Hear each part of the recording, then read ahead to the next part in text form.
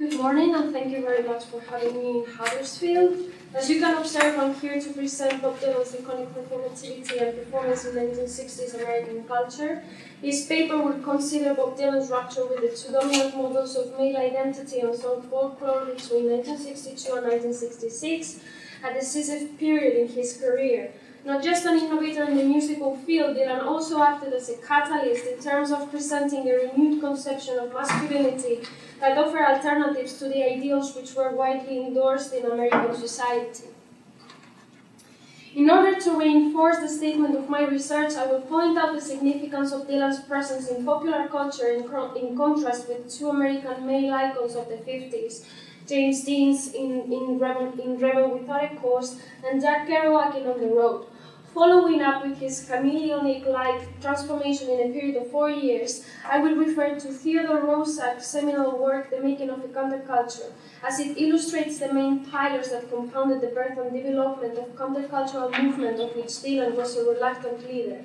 In the last place, I will make a direct remark on Todd Haynes' I'm Not There, considering that it features six incarnations of Dylan that reflect about both the evolution of his masculinity and the use and the use of masks that hidden the real identity that exists behind the public persona. The, the, the 50s and 60s were primarily affected both by the effects of World War II and the historical development of Cold War, a period that inevitably led to the nuclear arms race, as well as into the growth of the American economy. In consequence, two predominant paradigms which characterized these decades both in the US and England were the soldier and the figure of breadwinner. Respecting the warrior, the main reason that turned the image of this man into a role model for society was historical, and I quote, the soldier becomes the embodiment of the need for the state to construct a rough or violent masculinity in the defense or protection of Great Britain and the waging of the Cold War. On the other hand, the figure of breadwinner surfaced due to the interest of the state in preserving the predominance of ideologically sanctioned productive masculinity. That meant the preservation of canonical values and the defense of any kind of threat that challenged such hegemonic position, as Baker states next. The domestic breadwinner is then a strong masculinity produced to withstand feminization and communism, and the nationwide works hard to maintain it. Besides the negative consequences that, that the historical background exerted in the construction of the soldier archetype, we must emphasize that the effects that the World War II had on those fighters who, after coming back home, developed new behaviors with regards to their personal relationships. This can be ascribed to three reasons the trauma they experienced in the battle, their inability to recover, or an inability to find their own place in a restructured society that has evolved significantly. Therefore, post war American patriarchy's insistence on figures of the soldier and the breadwinner as the new and only valid interpretations of a masculinity had severe consequences. This imposition denied any kind of individual's development as a human being. In case of the fighter, his main function was serving to the needs of a specific group. Respecting the breadwinner, his principal role was to maintain the whole family both at the economical and emotional level. A fact that contributed, contributed to strengthening the worth of a crisis which was already inherent in the individual. I quote, there was the family man, content with house and garden, and there was the old wartime hero who put freedom before family and loved ones. In this way, a contradiction, a conflict at the heart of the construction of masculinity, which was reflected in a series of texts of the, over the 1950s. Among it stands out Robert Bloch's Psycho. Nicholas Ray, Rebel Without a Cause, came out in theaters in 1955, a prosperous year which was mainly characterized for its classicism, conformity, and opulence. The script told the story of Jim Stark, a middle-class teenager who challenged the traditional values of his family with the aim of finding his own identity. A process of self-discovery that, besides, that besides resulting outstanding to many spectators because of its arduousness, opened the path with respect presentation of a series of atypical, unexplored and feared masculinities which differed from the profile of the hegemonic ones, that is, outsiders, hipsters, artists, homosexuals, and so on. In Claudia Springer's words, The rebel figure was a crucial component in the creation of new masculine styles that revealed vulnerability and confusion, and suggested that masculinity was a culturally constructed category that arbitrarily imposed its strictures on men who did not easily fit. Like this, James Dean's striking performance on screen made such a, huge, uh, such a huge impression on Dylan's mind the night of its view that, according to Bob Spitz's statement in Dylan, a biography, if ever the term born again applied to Bob Dylan, it was then. Following, his, this, following this celluloid revelation, had gotten a glimpse of the future up on the screen in the form of James Dean, teenage rebel, and it appealed to his sensibility. In result, a new kind of performance based on the expression of feeling, posture, and attitude, which will be impersonated by Dylan himself in the Freewheelin's front cover. In the mid 40s, a marginal literary movement denominated as the Beat Generation emerged in the US. The philosophy that characterized the lifestyle of this group of writers mark, marked a distinction with respect to the canonical system that ruled the society of the time. In consequence, their ideals turned into a great source of inspiration for many artists such as the Beatles, Patti Smith, and more specifically Bob Dylan, who, besides being considered against his consent as, as an indisputable leader of the American counterculture, has admitted on many occasions the enormous effect it had on him, one of the most reliable proofs in this respect can be observed in Dylan's official autobiography, Chronicles Volume 1, a narration composed by a series of intimate flashbacks that explored firsthand his memories at the personal, historical, and professional levels.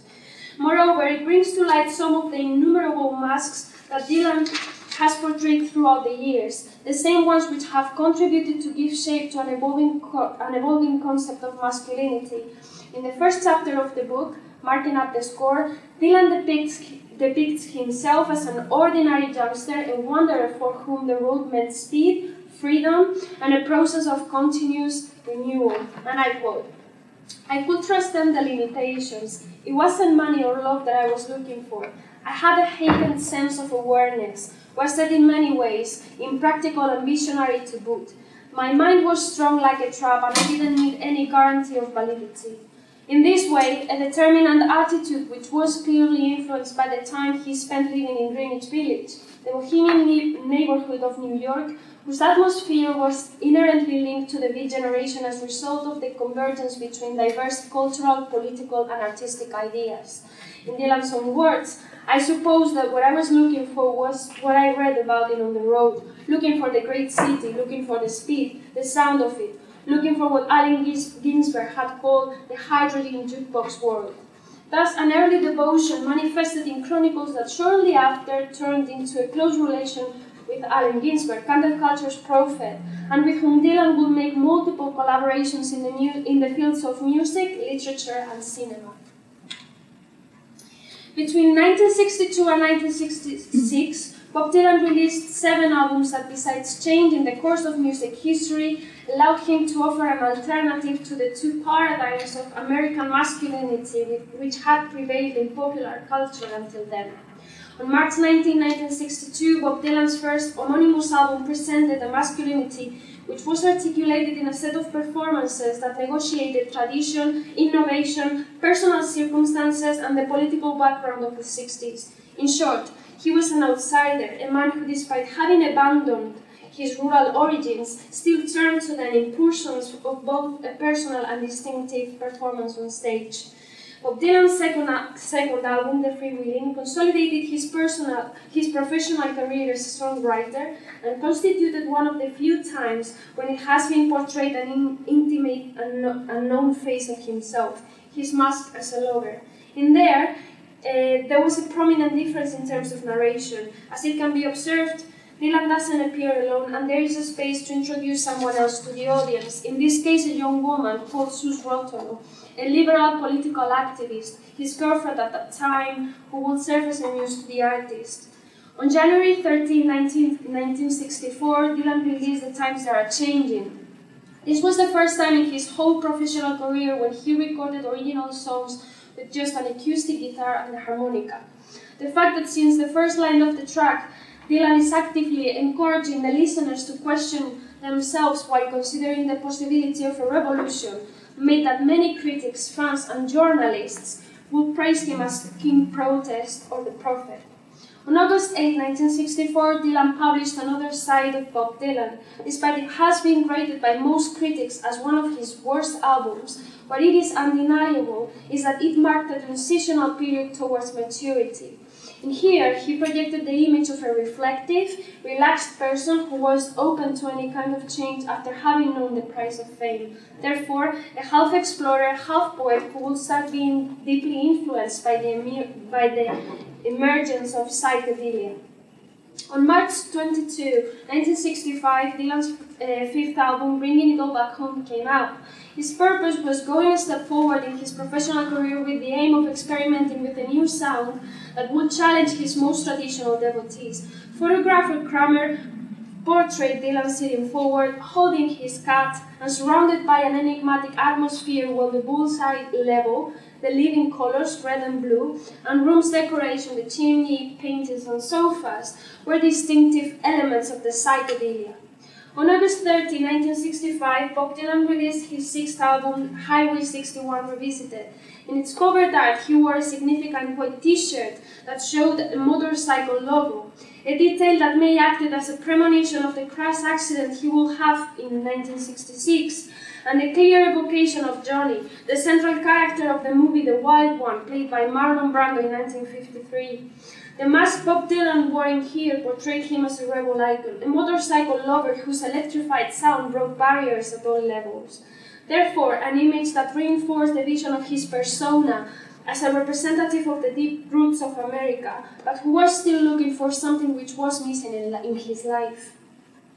On 16 May 1966, Bob Dylan released Blonde on Blonde, the first double LP in rock music, considered by most music experts as one of the greatest albums of all time, with international hits such as Just Like a Woman, I Want You, or Sad Eyed Lady of the Lowlands. Dylan achieved that thing, that white mercury sound. It's metallic and bright gold, with whatever that conjures up. Regarding the projection of masculinity, he presented it in here it stood out for showing up a grown up image that didn't hesitate in showing up a sense of irritation, coldness, and distance to the observer. A gesture that made Dylan look older than his real age. He was only 25 at that time, and which reflected both the fatigue and the lack of comfort he was facing as a result of being considered as an international celebrity. The making of a counterculture examines the birth, expansion, and consolidation of such an establishment movement in the United Kingdom first and the United States in the aftermath. As the author himself corroborates next, it was mainly characterized by a series of rebellious actions that, besides opposing to mainstream, led up its members to an innovative process of self-introspection. And I quote, everything was called into question, family, work, education, success, child rearing, male female relations, sexuality, urbanism, science, technology, progress, the meaning of wealth, the meaning of love, the meaning of life, all became issues in need of examination.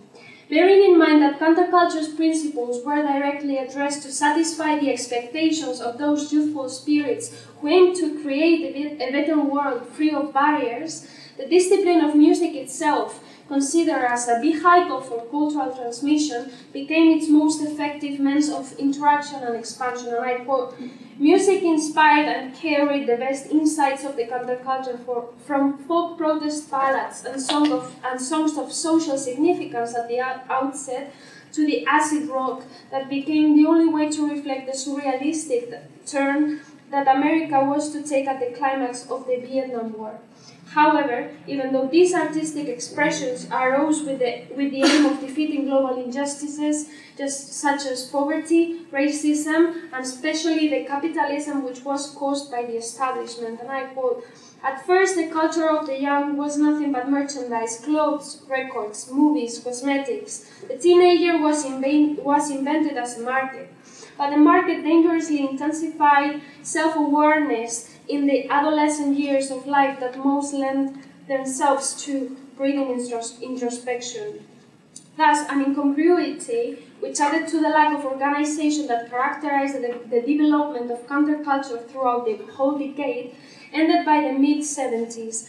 A moment often depicted by critics as a roundabout failure, which was preceded by the celebration of the Woodstock Music Festival in 1969, a historical event that gathered around 500,000 people and which was marked by two decisive facts. Dylan's absence was a personal decision that served to reaffirm his opposition of being considered as a prophet or the leader of the movement, of the movement he never thought he had belonged to. In addition, Woodstock was the show where artists such as Janis Joplin or Jimi Hendrix consecrated themselves as myths of the same culture which would absorb them shortly after, and I quote, Culture plays its part in the deception not as a mask concealing social reality, but rather as a screen on which the psyche projects itself in a grand repertory of sublimations. Bob Dylan's biopic I'm Not There by Todd Haynes recreates several chapters in the life and music of the American singer-songwriter by featuring six incarnations of his own self that break with the linear filmmaking narrative structure. In far from constraining such remarkable performances, this underlines even more the similarities and differences that compound Dylan's diverse use of masks. As Robert Ebert, American film critic, states, We've seen, we've seen six gifted actors challenged by playing facets of a complete man. We've seen a daring attempt at biography as a collage. That is a series of pieces that compound the jigsaw puzzle and resist being fitted together, just like in the sleeve of self-portrait, where Bob Dylan apparently depicts his persona, but in the end, uh, but in the end, it just remains as another mask. Thus, this is an affirmation that may help us to reconsider questions about it, and therefore accept that there remains a tension between the series of masks and the collage Dylan. Todd Haynes corroborates these viewpoints when affirms, but what's so amazing about Dylan is that each of those transitions from character to character or self to self, which come with the death, the death is built in, is also a liberation into a new self, a new identity. I'm Not There opening scene is Todd Haynes' intelligent bet at giving the audience the chance of feeling themselves as the own Dylan on his way to the stage for a few seconds. Thus, through the labyrinth where he is loudly playing, the inclusion of the motorbike is a clear symbol of the 1966 accident that allowed him killing off any previous conception around his persona. A period of eight years in which he remained out of the scene, recording an incessant quantity of material in Big Pink, while displaying his most familiar side with, with his at that time wife Sarah and his four sons. Nevertheless, as a result of self-portraits' uh, low sales in 1907, uh, many scholars and critics, such as Greil Marcus, mistakenly thought that the creation of peculiar albums like this one would prevent him safe, would prevent him having the same degree of relevance in popular music as he had got in the previous decade. So if we extrapolate this idea to the movie, we notice that we are symbolically attending to the assassination of the six most popular masks Dylan has worn throughout the years with the blow of gunshots. As the narrator himself describes next, there he lay poet, prophet, outlaw, fake, star of electricity. Without a doubt, a significant sequence that, when analyzed in detail, allows establishing a clear parallelism between the death of the artist, wonderfully interpreted by Cate Blanchett, who rests in the coffin, and Roland Barthes' death of the author, in which he writes, The author is a modern figure, produced no doubt by our society insofar as, at the end of the Middle Ages, with English empiricism, French rationalism, and the personal faith of the Reformation, it discovered the prestige of the individual, or to put it nobly, of the human person. In order to conclude this analysis, I will refer to one of Bob Dylan's most sincere confessions he offers in No Direction Home, as I believe it summarizes perfectly both the comprehension of his role as an artist and the reason why he has never stopped using masks throughout his whole career. And I quote, an artist has got to be careful never really to arrive at a place where he thinks he's at somewhere. You always have to realize that you are constantly in the state of becoming, you know, and as long as you can stay in that realm, you'll sort of be alright. So, despite considering the fact that there can exist biographical or psychological reasons that reinforce the use of these masks, The key principle that summarizes the response to the question suggested above is the state of becoming. Because in terms of Bob Dylan, everything is about process, change, and fluidity. As he asserts in this question, he is always reinventing himself because he's never the same thing twice. Therefore, there is no real Bob Dylan. Thank you. Thank you, Sarah. Are there any questions? We have 10 minutes. Thank you. That's really interesting. Um, so you talked a bit about uh, you know, the of Kerouac and, and being keen on Dylan. I was wondering, what are your thoughts on Dylan's influence on counterculture masculinity? Do you find any influence?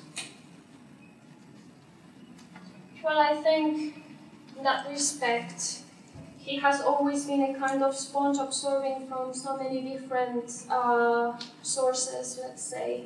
Um, indisputably, I think he's always been renewing himself, as I've been certain like throughout the whole conference. But um, I think um, he has the he has the power to be against himself, even though when he's uh, having lots of success, and that's one of the things I think that um, are in, in are um, these are like some of the traces that can characterize the counterculture, being against the system, even though when you're quite successful and you found uh, uh, the formula and everyone is uh, claiming you and you are in the center of everything, even, even though you are not the one that everybody's thinking you are. Um, so I will say being against, against himself, even though you found what's the formula, formula to be successful.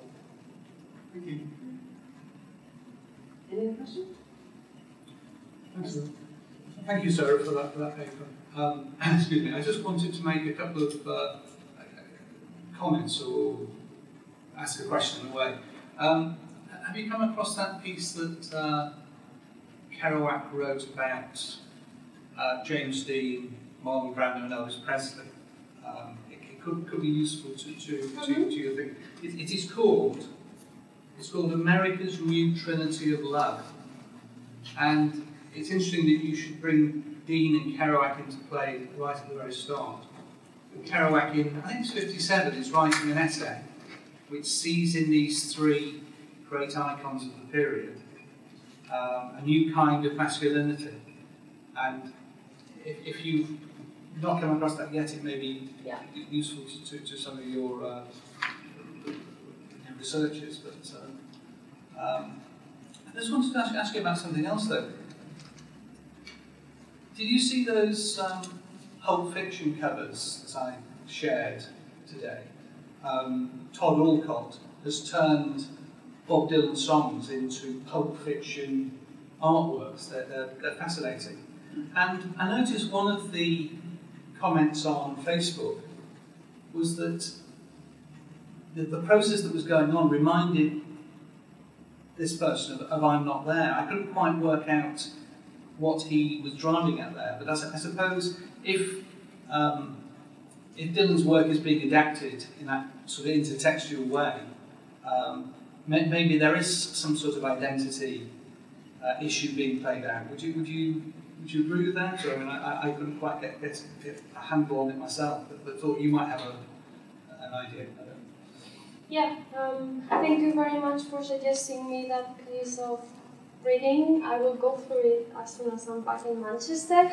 Um, regarding the question, um, yes, I mean, um, Bob Dylan has been, and he's still like one of the most important figures in popular music. We all agree that.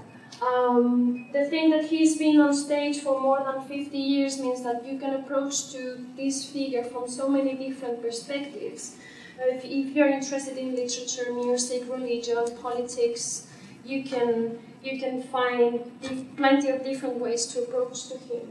And as I've asserted before, I think one of the best things about Dylan is that nobody really knows who's Dylan, but Dylan himself even though even even even the name himself is a construction and the thing that in terms of identity um, he, he has always been very successful in terms of uh, showing a side of himself and then making the others believe that it was what he was showing up in, in that moment and then coming backwards and then moving to a new direction.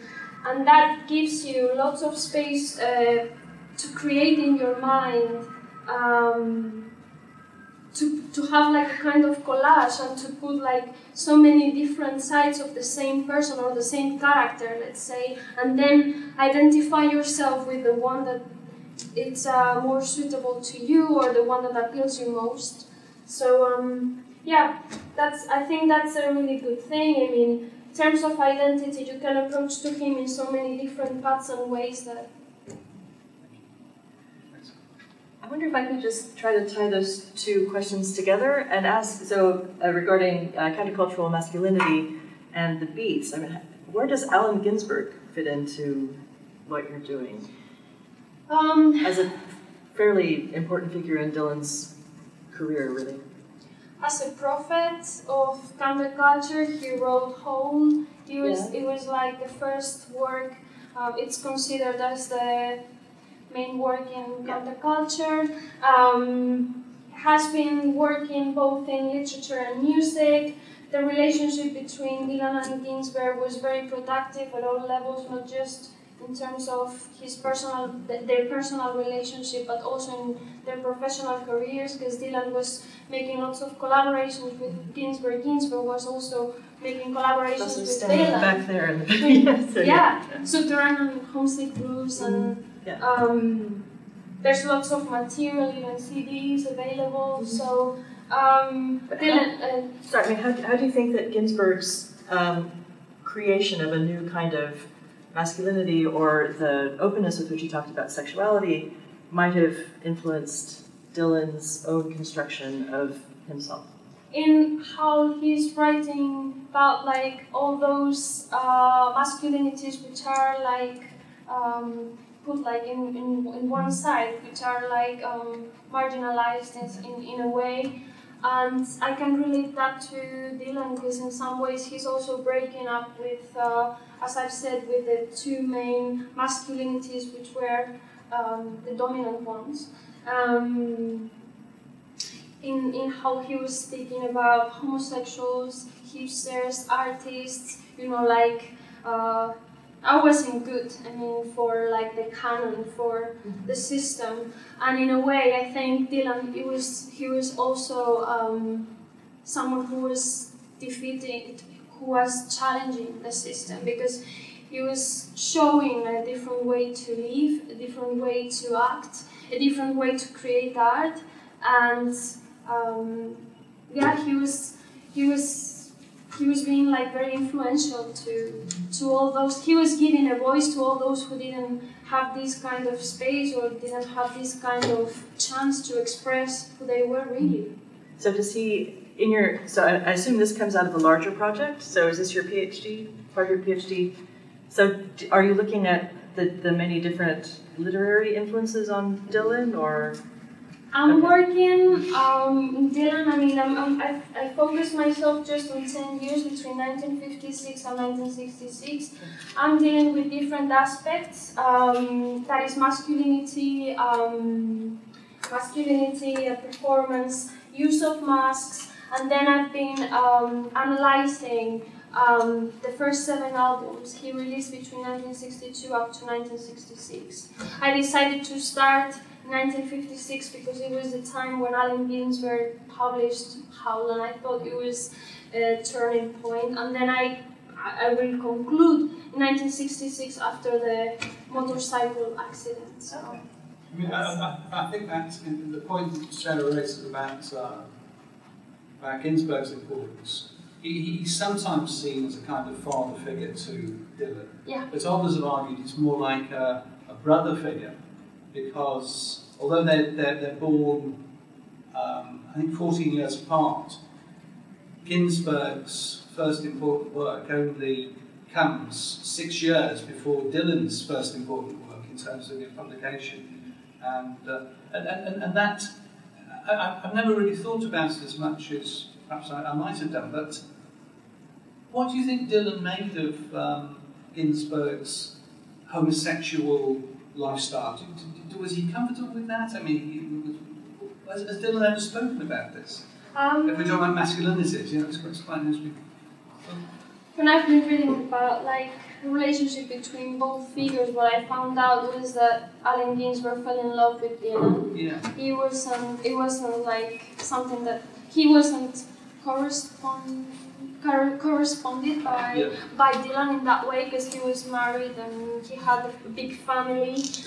Um, but yeah, I mean, in terms of masculinity, I think both both are key figures in this aspect. I mean, in terms of counterculture and what it means to the others and to the future generations. I mean, if, if, if you go, um, if you do any kind of research on counterculture, these two figures are up in there.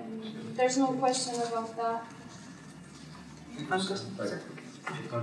Yeah. Um, sorry, I, I missed the start of your talk. Um, and thank you, it's really interesting. I was going to ask you before you just explained your project um, whether you were looking at Dylan's later career and um, you know what happens with the persona as he ages and actually returns to some of these former personas.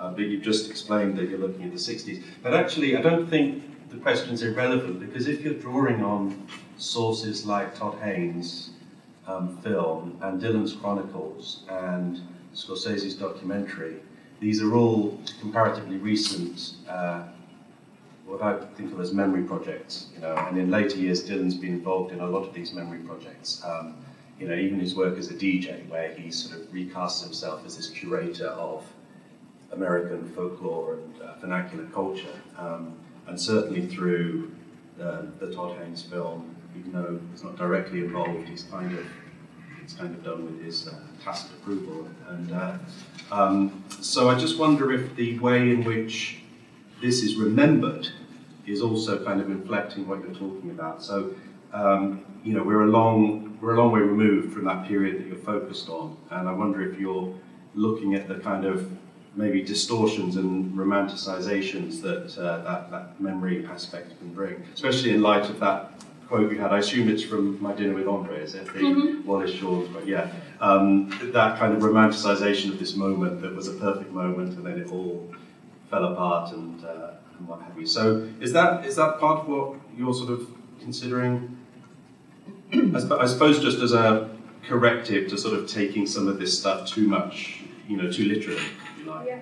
Um, thank you very much for that question. Um, as I've said before, I think you can approach Dylan in so many different ways. If uh, you're interested in literature, you can read plenty of books that uh, dig into the literary influences he has had uh, throughout his whole professional career. But also, I mean, you can listen to the albums and the experience. It's just your ears. But then you, you also have the chance to approach to Dylan himself. Um, the movies. And there's lots of movies on Dylan, uh, directed by uh, very famous uh, directors such as Sam Peckinpah and etc. But also Dylan has been in charge of directing his own material, like in Renaldo and Clara, etc. So I mean, um, there's a whole there's there's uh, lots of material to to to study and to uh, that I think it's quite important if you, if you want to approach to Dylan himself. The fact that um, well, I was born at the end of the of the eighties, so when I someone asks me. Um, uh, they, mm, what's your PhD on? And I say Bob Dylan. They tend to look at me and it's like, but you were born later. And yes, of course, um, uh, that's the beautiful thing about this that he's been on the road for so long that um, you can find people who's been following Dylan since the 60s and in the 70s, or you know, someone who like me come from later generation. And in that in that part the fact that i was born later and you only have you, you haven't lived this kind of um, uh, I don't know, these historical facts on your own because you were not born in there. So the only way you can approach to them is by reading or watching documentaries on the 60s or movies or talking to people who were born in, in, in that period and then you create your your own um, yeah your own discourse your own Sure, your own sure. I, I suppose I just mean that there would be a difference, wouldn't there, between using, let's say, primary sources from the 50s and 60s Hmm. um, uh, to, to look at the discourse around at, at that time and um, texts which are predominantly 21st century, and it's not really thinking about the differences Yeah. between those. I think more the, the recent material it's much more focused on um, um, his um, his image, his identity. I mean, this figure as a myth in popular music. Whether if you look at the early movies, he's like it, it, it's quite different. I think. Um, Renaldo and Clyde was never understood by critics because it's like uh, it's like tarantula really. It's like a kind of collage. You have like so many different scenes and there's not a coherent argument let's say. Um, in Pat Garrett and Billy the Kid he's only appearing he has a small uh, his, he, his role is uh, very small and very concrete um, I don't know I mean it, I, I think it's quite different maybe the first uh, idea of romanticization, as you've said, I, I would say um, it's a documentary recorded between in, in Newport Folk Festival between 1963 and 1965 because it's digging in, in the evolution of Bob Dylan. Um, and he started being as a devotee of um, uh, Guthrie, and then he turned into the voice of his generation, and he's showing you like all this process between one step and the other one.